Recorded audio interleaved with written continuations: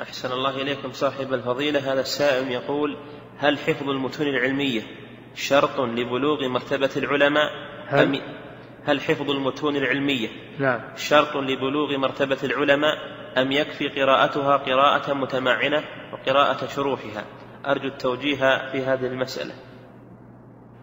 حفظ المتون العلمية وفهمها تلقي شرحها عن العلماء هذا هو طريق العلم الصحيح.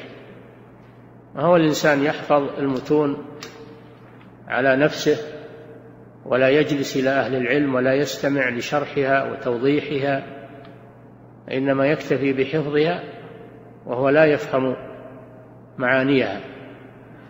وكذلك ليس العلم بالفهم فقط بدون حفظ لا بد من الأمرين لا بد من الحفظ ولا بد من فهم المعنى وأن يكون هذا الفهم عن طريق أهل العلم.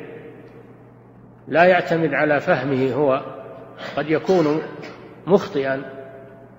لا بد من الرجوع إلى أهل العلم الذين يشرحون هذه المتون ويوضحون. هذه طريقة التعلم من قديم الزمان.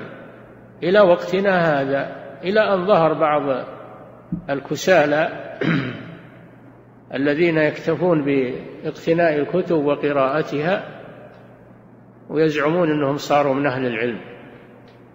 بمجرد المطالعة والقراءة. لا ما هم من أهل العلم هؤلاء. وهؤلاء خطر على أنفسهم وخطر على الناس أنهم يخرجون بأغلاط وأفهام خاطئة فيبلبلون الأفكار ويشوشون على الناس. الله جل وعلا يقول وليس البر بأن تأتوا البيوت من ظهورها ولكن البر من اتقى. وأتوا البيوت من أبوابها.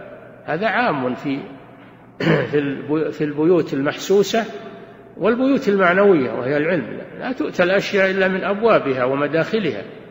ما تؤتى من من ظهورها ومن أعلاها ومن جوانبها. نعم.